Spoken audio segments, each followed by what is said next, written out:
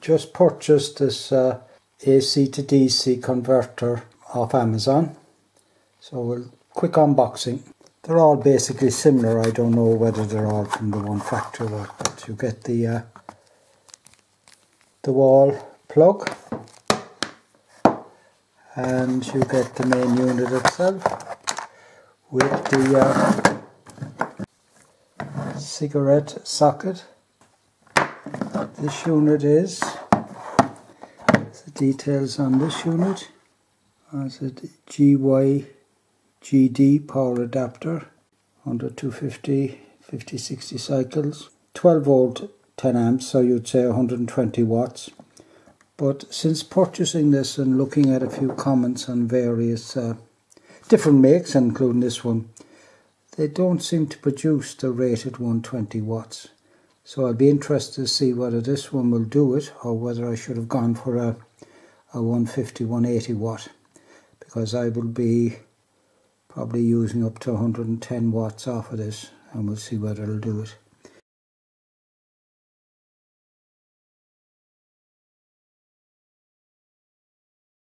The reason I purchased it was to be able to use this uh, lithium iron phosphate uh, battery charger which is stated to have 100.8 watts output so it'll be interesting to see what called rated 120 watt will be able to work with this charger. The reason I got it was um, uh, on the boat I used this to come off the cigarette socket to charge lithium iron phosphate battery. My thinking is if I'm tied up somewhere with a shore power I could utilize this fella and this to charge the batteries without having to be running the engine.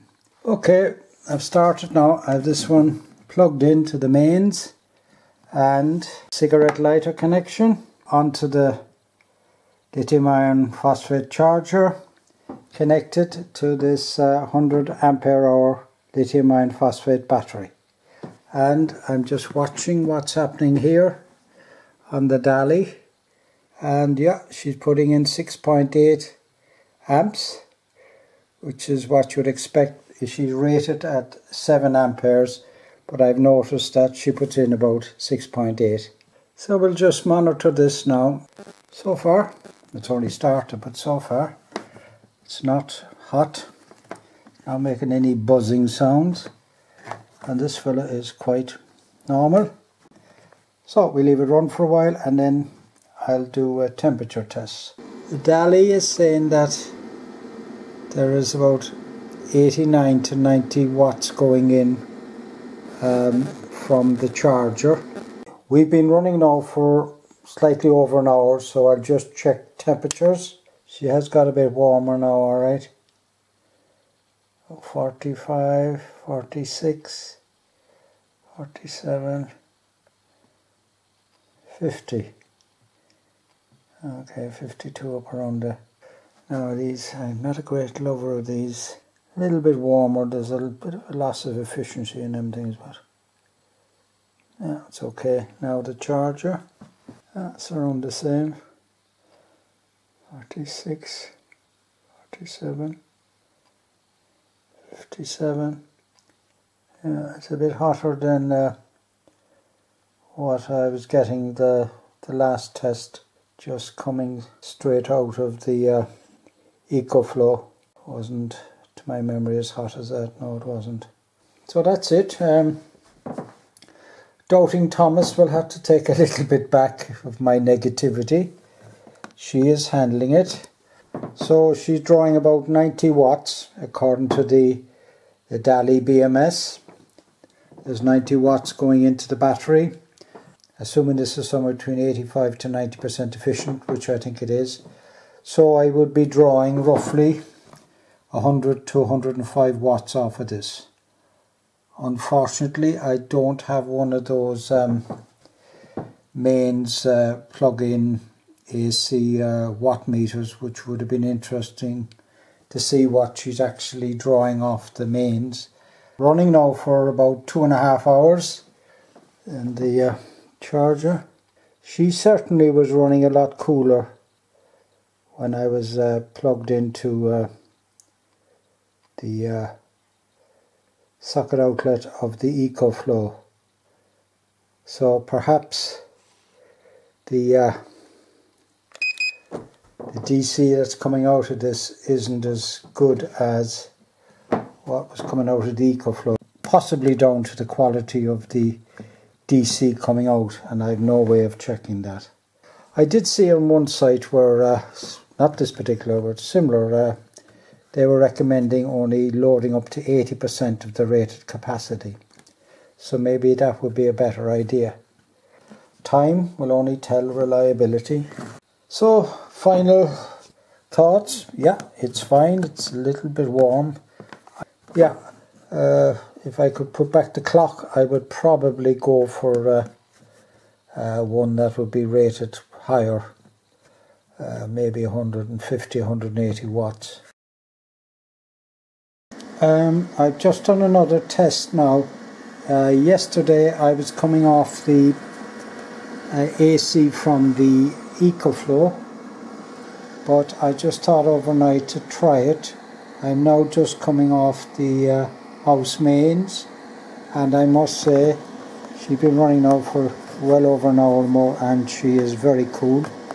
So it's certainly a big difference uh, coming straight from the mains. So this must have been causing a bit of overheating as well. So that's a lot better now. And uh, this one is uh, charger's a lot better now.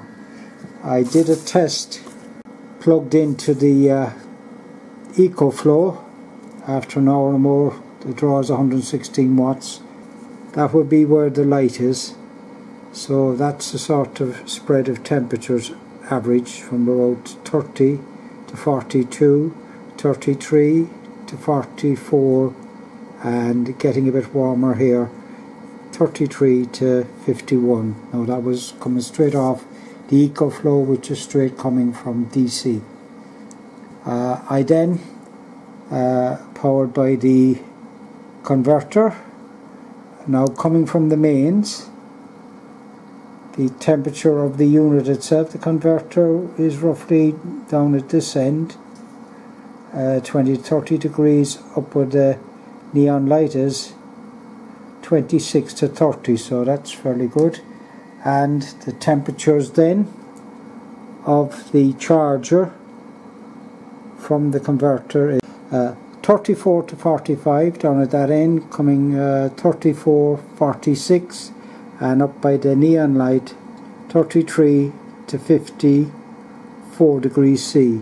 So it's only now about 3 degrees above coming direct from the uh, DC power. So that's fairly good She's able to take the uh, wattage, which must be at least uh, 110 watts, I would reckon.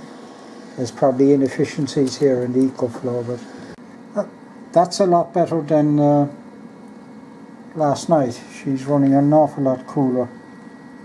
Yeah, happy enough with that. And this is uh, way, way cold cooler. Uh, it's an awful lot better than what I was seeing uh, last night.